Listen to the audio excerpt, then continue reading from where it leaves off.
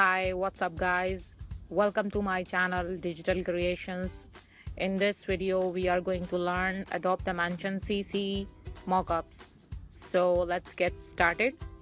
Um, guys, uh, you see in our previous uh, videos, we learned a lot about uh, how to use the introduction of uh, Adobe Dimension CC 2018 and uh, how to import text so i make also this uh, video to clear all the you know how to 3d realistic uh, rendering and uh, the background image how to use how to use materials and how to use decal graphics decal.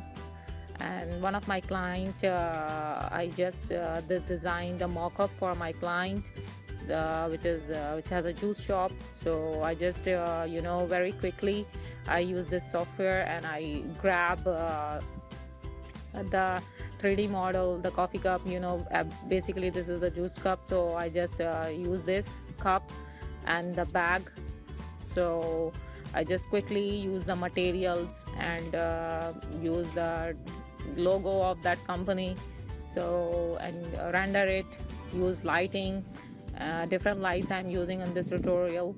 So it's very easy to show to your client that 3d mockup uh, how how their brand look like. So it's very good in brand identity and 3d realistic uh, rendering. So it's very good software adobe dimension cc 2018 so watch full video. And if you want to uh, watch uh, another videos you just go to my church subscribe my channel and share my videos.